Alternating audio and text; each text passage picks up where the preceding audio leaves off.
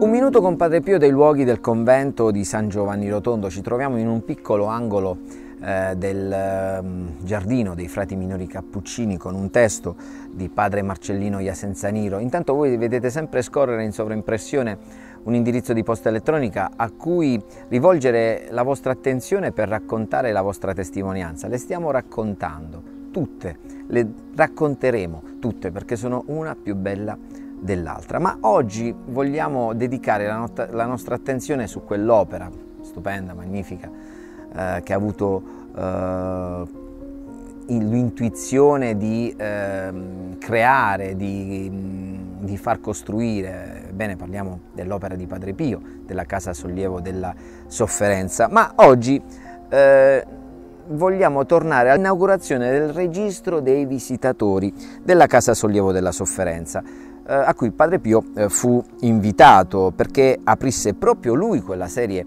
di riflessioni alla vista di quell'opera magnifica della provvidenza. Allora eh, Padre Pio lasciò il convento accompagnato da alcuni confratelli, ma una volta che si trovò davanti al registro, egli passò ad altri la penna che gli era stata offerta.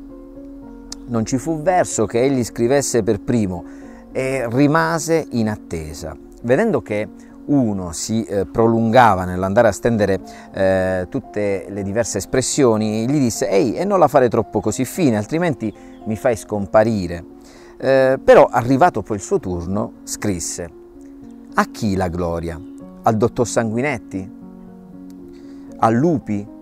Ma, puntini di riflessione, diciamo gloria a Dio.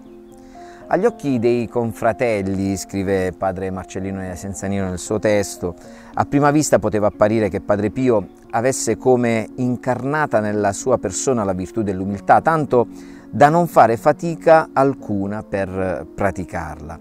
In realtà non era così. Fa osservare proprio un suo discepolo, padre Alberto d'Apolito. Padre Alberto era uno di quei fratini che eh, spesso abbiamo raccontato, eh, faceva parte del seminario nei primi anni in cui Padre Pio era qui e poi divenne sacerdote. Scrive Padre Alberto, il padre metteva in atto momento per momento, con estrema diligenza e cura, quello che ci insegnava quando eravamo fratini, l'umiltà. L'umiltà è il fondamento della vita religiosa e della santità. Ed è ovvio, scrive padre Marcellino, che eh, la pratica perfetta di qualunque virtù è frutto di uno sforzo continuo ed immane, nonostante l'apparente facilità con cui uno può mascherarlo.